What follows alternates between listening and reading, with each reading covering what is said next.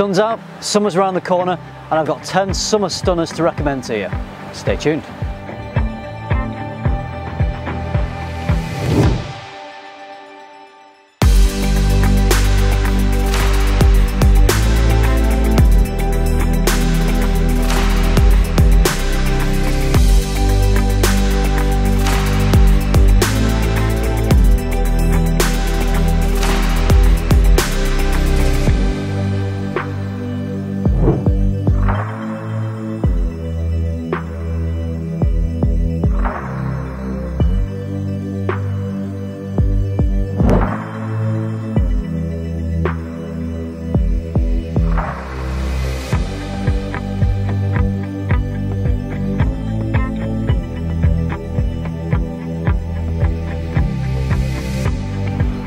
So I'm actually in the beautiful Lake District here in the UK. I found this little babbling brook and I thought this rock right here would be the perfect place to sit down and tell you about my top 10 summer fragrances. So these are the fragrances that I'll be rotating through this summer to keep me smelling fresh and clean. Okay, we're kicking off the list with a cheapie. Some of the best cheapies are from Zara and this is Zara Vibrant Leather Summer.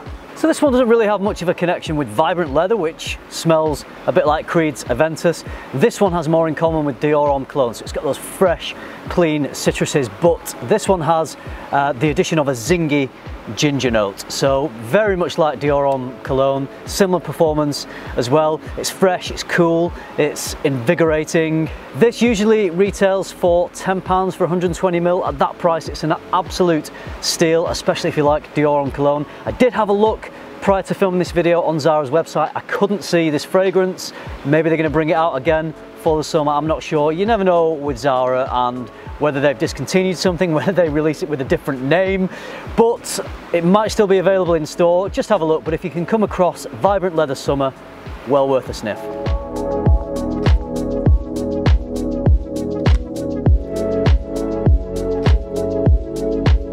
Okay, if you like to look cool and smell cool in the summer, we can go one better because you can smell glacial with Bulgari Man Glacial Essence.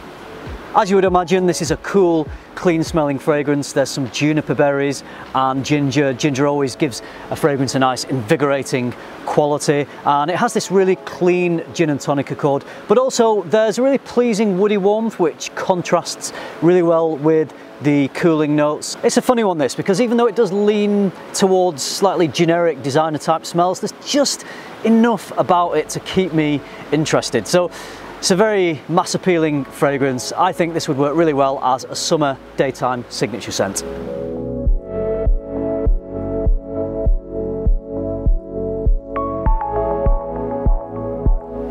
So I included Terre d'Hermès in my spring list. I think that actually works really well in the summer as well, but this one works even better because Terre d'Hermès isn't quite as fresh as Très Fraîche. So this is a flanker to the original, Terre d'Hermès, so you get that orange vibe, but you don't get the vetiver. So I'd say that this one, whilst it's a bit fresher, doesn't quite have as much depth as the original. But this one has more of a refreshing, watery type smell, so definitely more of an aquatic scent than the original. This reminds me of orange ice lollies that my mum used to make for me when I was a kid. She'd somehow get some orange juice and I think probably mix it with water because they were never quite as sweet as the ones you could buy from the shop. Just not as much sugar in there. Mum always looking out for that sugar intake. Anyway, on a hot summer's day, I didn't mind, I loved them. And this sort of reminds me of that because it's orangey, but it's not overly sweet. So it's got a nice sophisticated feel to it. So if you like Terre d'Hermès, but you're looking for something maybe a little fresher for the summer, try this one.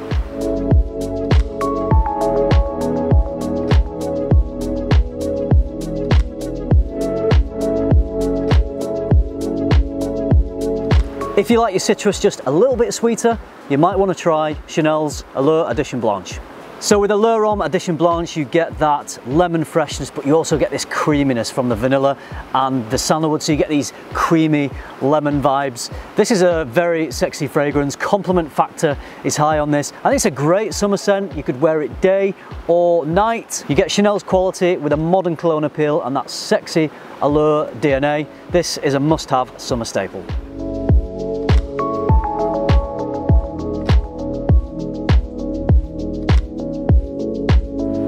Okay, so if you want a fresher version of one of the best iris scents you can get, Prada L'Eau.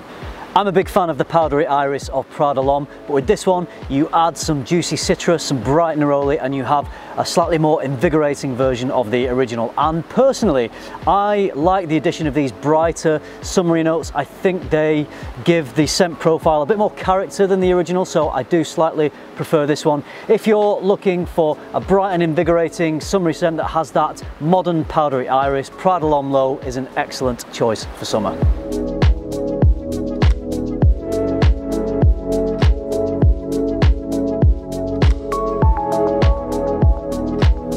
This next fragrance has been on every summer list video I've ever made. I just can't not include it because I love it so much. It works so well. It's Dolce & Gabbana's Light Blue Eau Intense. So this has got beautiful citrus, salty marine notes and sensual musks. This is just quite simply one of the best oceanic fragrances that I've ever smelled. It transports you right there. What more can I say? Sexy, salty, citrus, essential for the summer.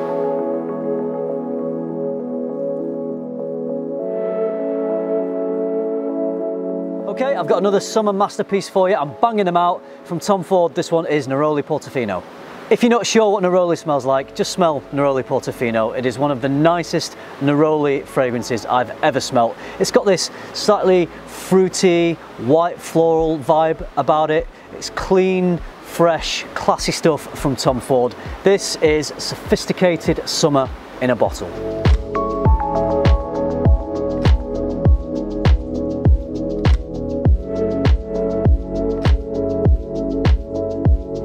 Guess what? I've got more sexy iris for you, but this time it's richer and even more sensual. This is an absolute stunner from Dior. It's Dior Homme Eau for Men.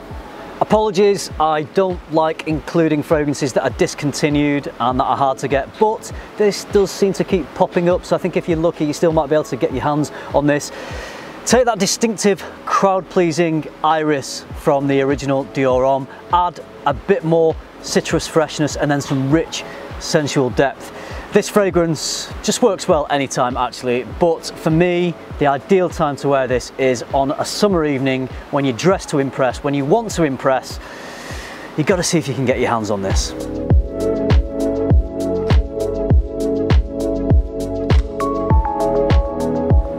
The next one is one of the classiest, most sophisticated, well put together oceanic scents on the market. It is Acqua di Gio Profumo.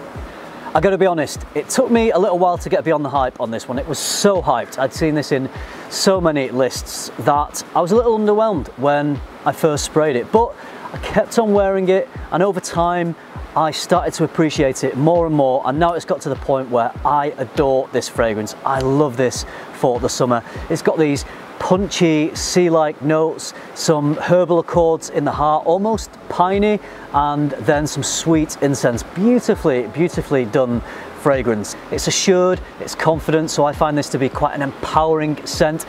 If you want to smell extremely well put together and sophisticated on a summer's evening, Alberto Morillas has made this for you and it needs to be tried. Do me a favor though, wear this. If you don't enjoy it at first, keep on wearing it, get past the hype, and I think you'll start to enjoy this truly fantastic scent.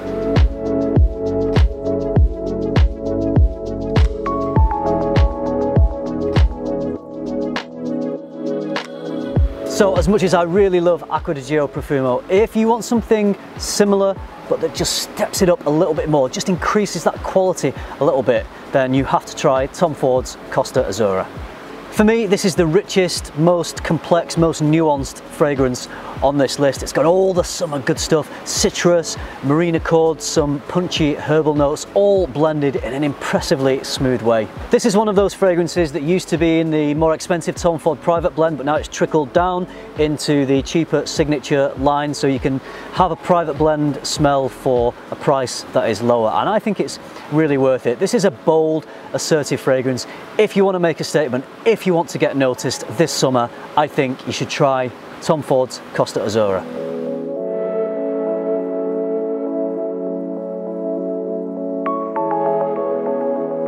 So there you go, 10 superb designer fragrances for the summer. These are the ones that I'm going to be rotating through the most along with my summer niche fragrances. Make sure you stay tuned for that list and then maybe some other summer fragrances that I'll find to wear. So let's hope it's a, a good summer, shall we? Let me know what you thought of my designer fragrance choices and I'd love to hear what your favourites are because if I've not tried them there are probably still some that I would like to add to my collection so please drop me some recommendations.